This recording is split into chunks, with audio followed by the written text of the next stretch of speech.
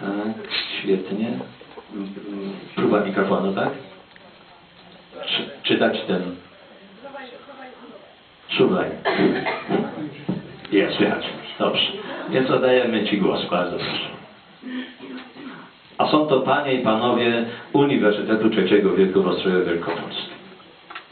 Może na początek jednak wstanę.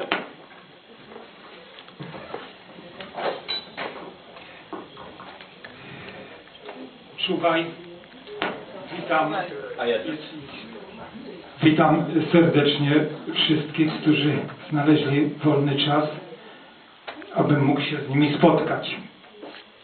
Harcmistrz Józef Kozan dużo powiedział o organizacji harcerskiej. A ja postaram się Państwu troszkę ją przybliżyć, a przynajmniej początki. Mam szczerą wolę całym życiem służyć Bogu i Ojczyźnie, nieświętnie pomóc każdemu człowiekowi i być posłuszny prawu harcerskiemu. 23 stycznia 1957 roku po raz pierwszy powiedziałem to w obecności zwanego przez nas strucla harcmistrza Mariana Grzeszczyka, późniejszego honorowego obywatela miasta Ostrowa. I wtedy nie za bardzo zdawałem sobie jeszcze sprawę, dlaczego on nas zaprowadził na lotnisko, dlaczego przyrzeczenie składałem na sztandar, na którym na czerwonym płótnie był biały orzeł, i wtedy było właściwie mało pytań, a więcej radości i chęci zostania harcerzem. Rotę przyrzeczenia słowa przez wiele lat staram się wypełniać z różnym skutkiem. Nie zawsze mi się to udaje być tak harcerzem do końca, jak mówi przyrzeczenie harcerskie. Ale właśnie to, to przyrzeczenie spowodowało, że dzisiaj znalazłem się u Państwa. I jako przewodniczący Komisji Historycznej Chówca w Ostrowie Wielkopolskim będę mógł Państwu przybliżyć to nasze harcerstwo. Właściwie, gdy się mówi o harcerstwie, o życiu naszym, to mówi się w innych okolicznościach gdzieś polana. Na polanie skoszone siano, siadamy, zapach siana. W koło drzewa stoją jak rycerze w czarnej zbroi. Patrzymy, kiedy zapali się ognisko, a gdy już zabłyśnie, patrzymy na ogień, który ślizga się po gałązkach ogniska, raz wyżej, raz niżej. Zaczynamy się zastanawiać, patrząc w ogień, co rusz w górę. Jakieś iskry lecą. Do Pana Boga i tak myślimy, co nam ten, co przyszedł gawędę mówić, chciałby dzisiaj przy tym ogniu powiedzieć. Dzisiaj naturalnie nie jesteśmy na polanie, nie mamy zapachu dymu, ale postaram się jakoś Państwu przybliżyć to nasze harcerstwo. Zeszczelmy myśli w jedno ognisko. Pierwszym samowychowawczym związkiem młodzieży polskiej był Filarys Filomatów z czasów jeszcze Adama Mickiewicza. Na tym filaryzmie wzorowały się liczne pokolenia w swoim samokształceniu długą, mroczną noc niewoli. Mimo braku Polski, rozerwanej przez trzy zabory w sercach Polaków, cały czas istniała ojczyzna. To seniorzy rodów przekazywali swoim synom i córkom wszystko, co najlepsze o ich ojczyźnie. Oni opowiadali im o powstaniach i zrywach patriotycznych ich dziadów.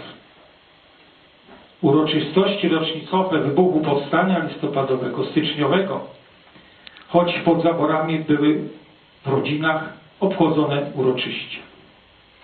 W celu przygotowania młodzieży polskiej do wyzwolenia ojczyzny spod zaborów powstawały różne stowarzyszenia. Stowarzyszenie Sportowe Sokół, Towarzystwo Tomasza Zana, Zarzewie, Eleuzis, Wolność, jak i wiele, wiele stowarzyszeń młodzieży, chłopców i dziewcząt przy kościołach. Gdybym chciał najkrócej scharakteryzować nastrój młodzieży przy narodzinach harcerstwa, nie znajduję lepszych słów jak opętanie przez scouting. Bo oto przyszło do nas coś, co było syntezą porywów, pragnień, dążeń i tęsknoty znacznej części młodzieży ówczesnej całej Polski we wszystkich zaborach. Istniała wola odzyskania natychmiast niepodległości narodu. To wszystko odnaleźli w idei skautingu, który przyszedł jak objawienie realne i mądre, rzeczy marzonej, ogarnął całą duszę młodzieży, dając poczucie szczęścia i radości z jednej strony i pęd do natychmiastowej i pełnej realizacji. Większość twórców ruchu skautowego w zaborach to młodzież. Ziarno rzucone na żyzną glebę wydało plon. Chociaż żniwo czasu zrobiło swoje, jednak plon pozostał. Harcerstwo wydało z siebie wielu późniejszych przywódców. Wyrok sądu Zarzew. Sąd wojskowy, rozpatrzywszy przekroczenia żołnierza nr 14, popełnione dnia 5 marca 1910 roku, co to po pierwsze niesubordynacji, drugie lekceważenia i obowiązków, trzecie demoralizacji, wyrokiem dnia 15 marca skazuje go na 24-godzinny areszt domowy, o którego terminie zadecyduje komendant szkoły żołnierskiej. Jako rehabilitację sąd nakazuje żołnierzowi nr 14 przetłumaczenie dzieła pod tytułem Scouting for Boy. Do 7 kwietnia bieżącego roku nadesłanie tegoż na ręce dziesiętnika nr 18. Członkowie Sądu Wojskowego nr 18, nr 31, Lwów, 15 marca 1910 rok.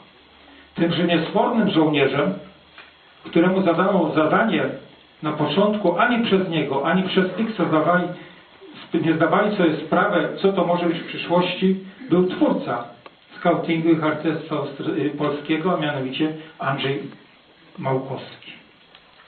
Jeszcze fragment jednego rozkazu.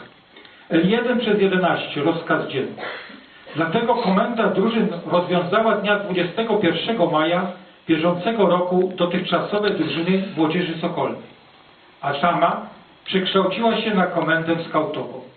Na czele komendy stanął Kazimierz Wyżykowski, a w jego skład weszli Andrzej Małkowski, Czesław Pieniążkiewicz, Franciszek Kapałka, Olga Drachonowska, Jerzy Grodyński i Alojzy Chorak. Lwów, 22 maja 1911 rok. Tak, moi drodzy, narodził się na ziemiach polskich nowy ruch zwany skautingiem. A przywieziono go z Anglii od nikogo innego jak od twórcy tego ruchu Baden-Powella. A sam ruch powstał w Afryce w czasie wojny burskiej. Echa